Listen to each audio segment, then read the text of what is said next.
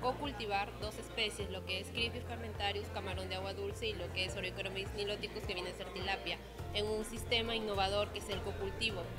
ambas especies, en donde se tiene mayor sobrevivencia, donde ambas especies son importantes, donde no interactúan entre sí, pero están en el mismo medio y hay una mejor ganancia en lo que es biomasa cada investigación cuenta y de poquito a poquito podemos llegar muy lejos, ¿no? Esto es solo un pasito más que estamos dando tanto en pesca como en acuicultura y todavía hay mucha información por la cual nosotros necesitamos saber tanto para lo que es este el cultivo, ya sea para ovas o diferentes este, líneas ¿no? de investigación que hay.